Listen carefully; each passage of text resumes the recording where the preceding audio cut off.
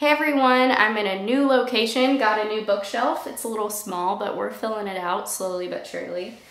Um, it's September, I can't believe it. Um, August was a great, great reading month for me.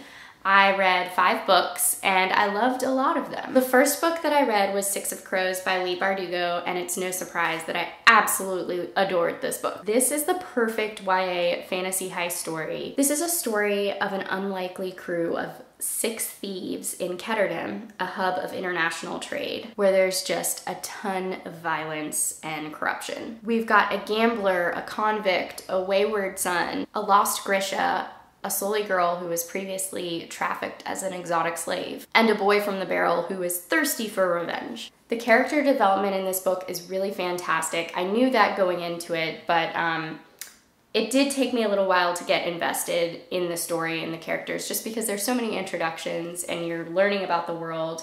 Um, but Leigh Bardugo does a great job of diving into the different perspectives. By the end of the book, I was completely sold on everything. The plot is so riveting. There are twists, there are moments that are just really moving and clever. The premise is really unique too, like how the heist is presented to these group of thieves. It's a complex high fantasy story, so every detail, right down to the actual layout of the ice court, is just absolutely perfect. I loved getting to see the different layers of Kaz, who's kind of the leader of the crew, um, especially in the beginning stages of the heist when fear creeps in and we get to learn a little bit about his weaknesses. Of course, the lead convict has to have a heartbreaking, intense past, but I just felt like his story his voice was so distinct um, and I, I, just wanted to know more about Kaz Brekker. I also wanted to know more about Inej, um, she broke my heart too. The crew nicknamed her the Wraith, and she's sort of this ex acrobat um, who was sold as an exotic slave to this corrupt woman in Ketterdam. Getting to know her as a character was probably the most enjoyable part of this book and probably what I'm most looking forward to in book two. I was also touched by Nina's character and her development with a certain love interest. I will say that one character annoyed me until close to the end of the book and that was Matthias. I don't know what it was about him. I just feel like I didn't fully believe his character. Um, like his anger would contradict his passion, his passion would contradict his anger, and I guess that was the complexity that she was trying to build in this character, but I don't know, I just didn't buy it. There was something about it that felt off to me, but he definitely grew on me as I was reading and towards the end of the book. But yes, overall, I was really pleased with this book. It definitely lived up to the hype, in my opinion. Um, and I'm really excited for the second book to come out. It's supposed to be coming out this month, so I'm gonna have to put it on my TBR soon. Another book I read in August is actually on my shelf. We've got Sweetbitter by Stephanie Danler. You guys know that I loved this book. I did a full review on it, which I'll link down below. I'm not gonna talk about it a lot here because we've got more books to get into, but definitely, definitely check this out if you're into foodie stories, New York City, heartbreaking tales. Um, it's a contemporary coming of age story and I fell in love with it. The writing was just breathtaking, breathtaking. I obviously took a lot of notes. I have tabs here um, of just quotes that I really loved. I could have tabbed every page. It was fantastic. Another book that I read in the month of August was Me Before You by Jojo Moyes. You guys know that I've been waiting to read this for a long time, or I've been trying to read it for a long time. Um, if you saw my Monday Middles post months ago, I have picked this up on and off for probably half a year. There's an unpopular opinion ahead, so buckle up. I don't know if it was just the book hangover after I read Sweetbitter because I did pick this one up shortly after. Um, which would not be fair, right? Because I'm a mood reader and I was definitely having a book hangover.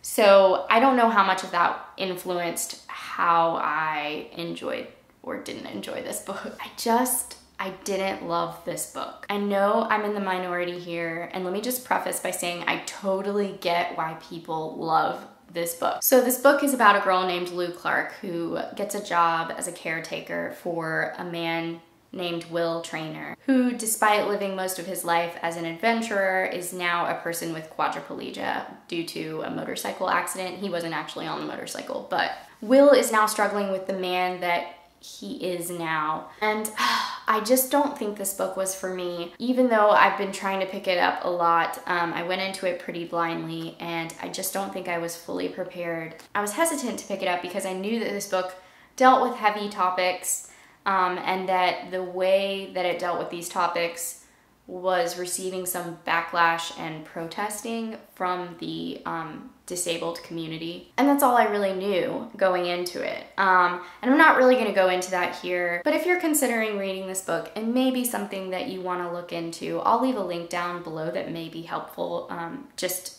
one of the videos that I saw discussing um, some of the controversial topics in this book. But since this is a spoiler-free review, I don't want to really talk about the tension surrounding this book.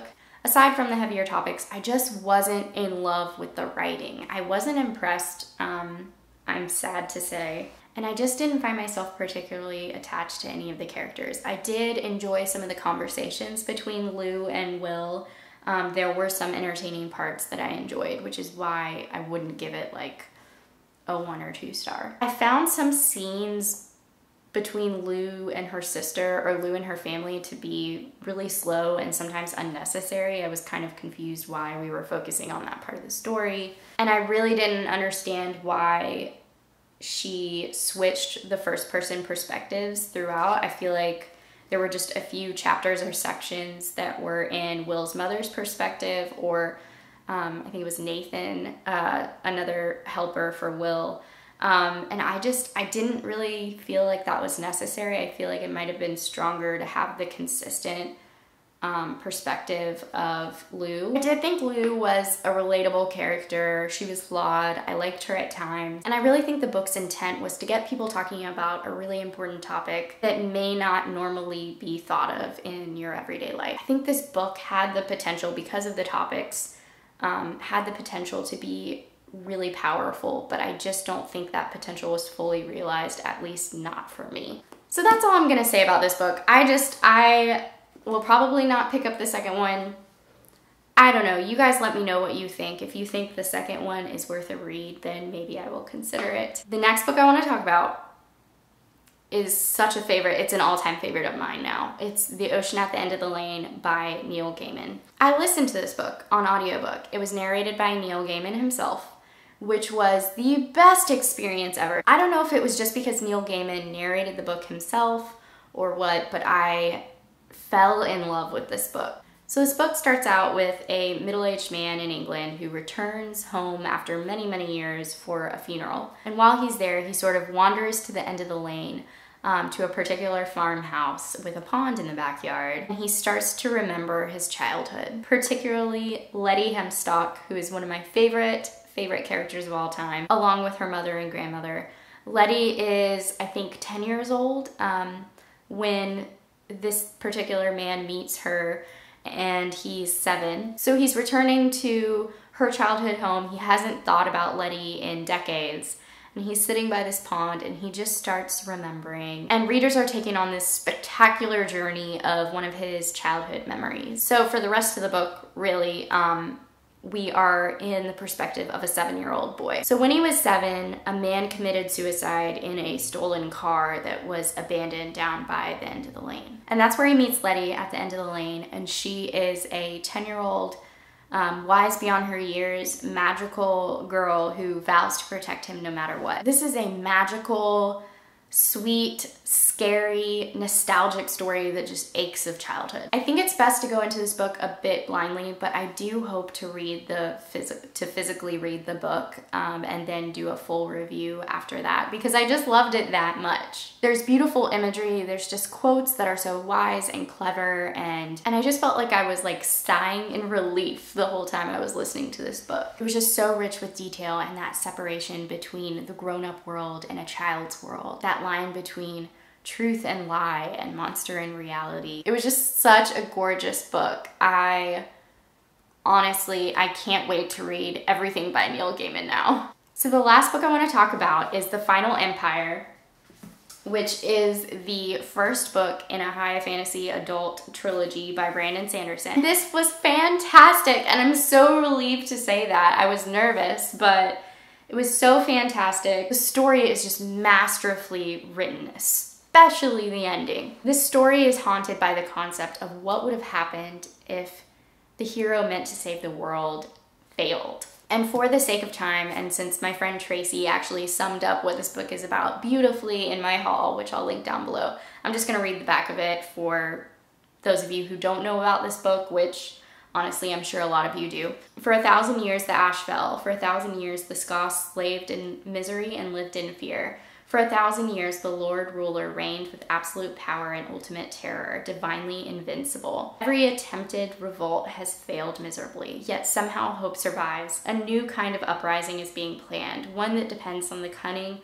of a brilliant criminal mastermind and the courage of an unlikely heroine, a skaa street urchin who must learn to master Allomancy, the power of a mistborn. What if the prophesized hero had failed to defeat the Dark Lord? The answer will be found in the Mistborn trilogy, a saga of surprises that begins here. This book wrecked me, especially the end. I could not process the end for several hours. I loved that I read Six of Crows before this one because I was intimidated, um, but they were very similar. They had a similar vibe with the whole heist story. The character development also in The Final Empire was so well done particularly Kelsier's and Vin's character development. I also cared about characters that I barely got to see in this book, and that really speaks to just how well written it really was and how intricate the plot is. It also speaks to the history that he builds throughout, especially the slavery and misery of the skaa, and the different people and thieves that you meet along the way who seem ordinary but are quite the opposite. The book was a little slow for me in the beginning, kind of like with Six of Crows. I really think it's because I'm not that used to fantasy and how there's a lot of character introductions and a lot of world building happening, but I didn't feel like it was info dumpy, which is kind of a big deal for me. I did feel badly though because I buddy read kind of buddy read this book with Jess McGlynn. I'll link her channel down below. And I felt really bad because she read this like a week and a half before I finished it. It might have been two weeks. So she couldn't gush about it with me until I was done. But yeah, it was everything I was hoping for. Um, I am totally on board with the hype, honestly. And I can't wait to read the second one. So those are all the books I have for you um, that I read in August. I was very pleased with the books that I read. Um, I will hopefully be filming a September TBR video soon hopefully before September is done. I'd love to know what you read in August. What was your favorite book? What was your least favorite book? And I'll talk to you soon.